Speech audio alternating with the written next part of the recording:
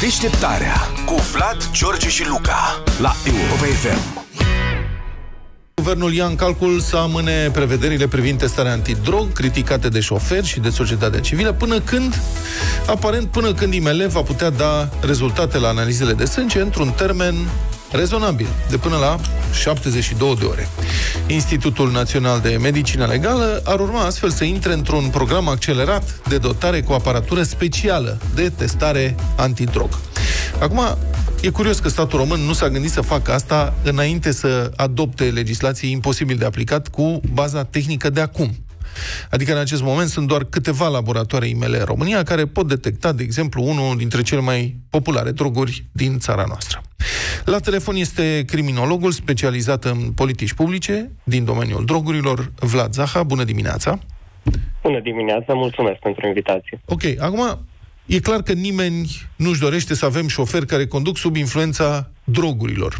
Dar, Vlad Zaha, cum au rezolvat alte țări problema asta? Sau, mă rog, cum încearcă să o rezolve? Mă refer la testarea șoferilor ca să fie scoși din trafic. Da, în primul rând, uh, țările din UE cu guverne responsabile nu dau legi fără să se asigure că au capacitățile necesare să le și pună în practică. Asta ca să adresăm ceea ce arde, uh, de fapt, acum mai tare. Iar uh, tot în această majoritate a țărilor UE, păstrarea permisului în urma unui test pozitiv pe șosele depinde fie de o examinare medicală pe care o faci pe loc, adică un me- ești condus practic de poliție dacă există suspiciunea, fie pe baza testului, fie pe baza uh, suspiciunii uh, poliției, ești condus la o unitate medicală, un medic se uită la tine și decide dacă păstrezi permisul pe loc sau dacă uh, până vin analizele sau dacă ți se reține pentru un anumit număr de ore sau păstrarea permisului depinde fie de analizele de laborator care vin în câteva ore sau zeci de ore. Deci există această capacitate. Dar uh, foarte important, uh, sunt multe prevederi într-o grămadă de țări care să se asigure că șoferul chiar este sub influență. De exemplu, în țări precum Belgia, Cehia, Danemarca, Irlanda, uh, Norvegia și așa mai departe, există niște minime cantități din diferitele substanțe uh, ilegale, astfel încât să se facă o diferență, de exemplu, între o persoană care ia o, o anumită medicație în cantități foarte uh, mici pentru, să zicem, o răceală versus o persoană care uh, este cu adevărat sub influență. Și limitele sunt în nanograme, sunt, uh, sunt uh, amfetamine, uh, opioide, THC, există niște limite specifice. Dacă nu sunt aceste limite, atunci determinarea se face pe baza examenului medical, dacă e, suntem sub influență, pentru că nu putem avea și asta au înțeles majoritatea statelor Uniunii Europene, nu putem avea o vânătoare de vrăjitoare în care uh, considerăm că toți șoferii români sunt drogați și că ei trebuie să dovedească că nu au fost la un moment dat, așa că preventiv îi ținem uh, fără permis sau uh, le, uh, le îngreunăm, le, le luăm locul de muncă, practic. Da. Mai întâi tragem și după aia întrebăm. Bun, dar acum ar, ar putea exista și răspunsul că dacă sunt acceptate sau dacă ar fi acceptate niște limite minime acceptabile pentru niveluri de uh, substanțe stupefiante în organism, atunci ar trebui acceptate sau permise și niveluri minime pentru alcool, nu? Ar fi același principiu? Uh, practic, sunt și acum niveluri uh, minime permise pentru alcool în ceea ce înseamnă contravenție sau uh, infracțiune bazată pe cantitatea de uh, alcool. Doar că alcoolul este un pic diferit față de restul da, medicamentelor. Da, se ridică permisul, da, da, se ridică permisul indiferent dacă e contravenție sau infracțiune. Adică oricum A... nu mai ai dreptul să conduci dacă se constată că ai chiar și 0,1 la mie sau 0,01. Absolut, absolut. Dar aici mă refeream specific la medicamentele uh, banale, să le zic așa, care fac acum obiectul unei discuții uriașe între medici și polițiști pentru că, din păcate, auzim tot mai multe voci medicale avizate în aceste zile și nu numai, care spun că poliția practic le-a luat locul uh, și de medici, a luat locul și de legiuitori, tot ei și aplică legile, tot ei și pedepsesc uh, oamenii și fac prevenția, uh, ceea ce nu este sustenabil absolut deloc, pentru că ajungem la discuții dacă o pastilă de norofen uh, îți dă dreptul să, sau îți ia dreptul să conduci sau nu. Mhm. Bun, spre deosebire de alcool, în cazul stupefiantelor vorbim de sute de compuși care pot influența uh, capacitatea de a șofa autovehicule. Cum ar putea decela poliția între uh, toți acești compuși și concentrațiile lor periculoase? Cu ce fel de testări? Ce ar trebui făcut?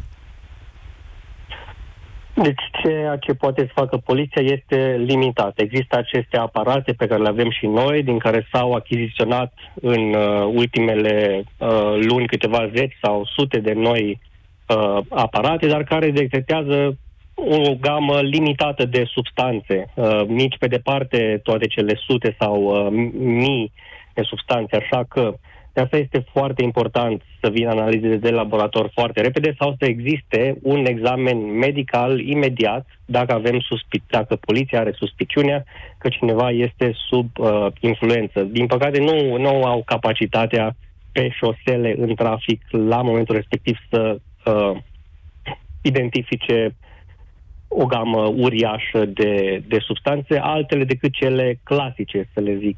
Deci Așa, trebuie mers, deci e clar, trebuie mers la, la medico legal. Adică doar acolo Absolut. se poate. Ok. Bun, dar uh, institutele medico-legale sau filialele din România nu au deocamdată capacitatea asta. Există un plan, guvernul spune că va folosi bani de la Banca Mondială, că urmează să reutileze și să crească această capacitate de testare. Care e opinia ta în privința asta? Cât de repede s-ar putea face?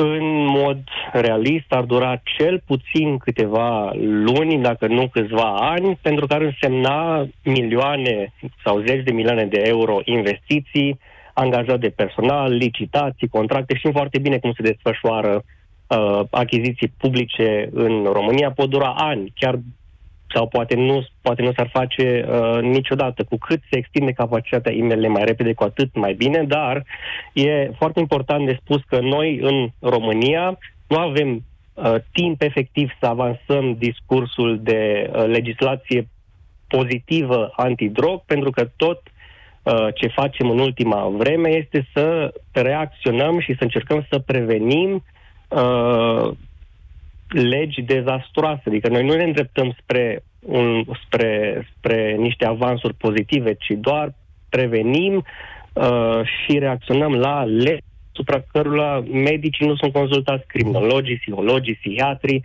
practic toate sunt făcute de uh, poliție acum. Noi luptăm cu ele, însă uh, în ansamblu nu mergem către o direcție pozitivă, doar încercăm să revenim să nu fie mai rău, cum am văzut această săptămână. Mhm. Bun. Vlad Zahada, atunci care ar fi soluția ca să fie scoși șoferii drogați de pe șosele? Să nu mai avem cazuri cum a fost cel de la 2 mai, de exemplu.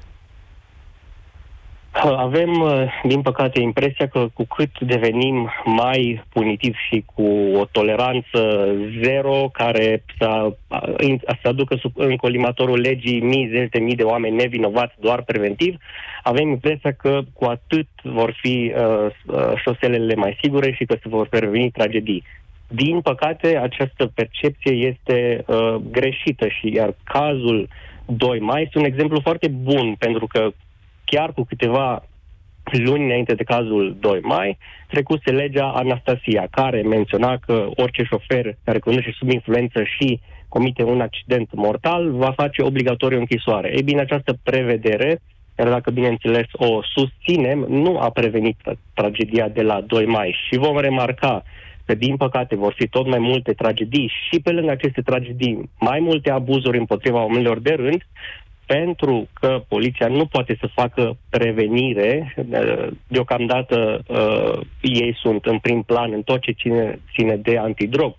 Uh, medicii, uh, sistemul educațional, sistemul de asistență socială și așa mai departe, toate trebuie să lucreze împreună către educație și prevenire, iar poliția să se concentreze mai mult pe marele trafic de droguri, de unde se consumă aceste droguri, să nu intre în zona de medical ca să nu mai avem discuții interminabile despre un ibuprofen uh, și să rămână pe uh, șosele, să calibreze testele uh, antidrog și să invite specialiștii la discuții, pentru că despre, despre asta este problema. N-am fi avut aceste legi dacă uh, pur și simplu ar fi fost invitați, de exemplu, cei de la Consiliul Superior de Medicină Legală, oamenii care practic sunt în, uh, în uh, sunt, sunt cei care fac analizele, au dat un comunicat și au zis nu am fost întrebați, nu ni s-a luat niciun punct de vedere, ne-am trezit cu ordonanța uh, sâmbătă trecută.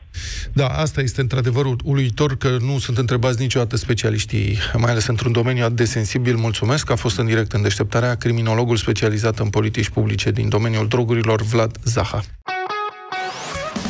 Deșteptarea cu Vlad, George și Luca la Europa FM.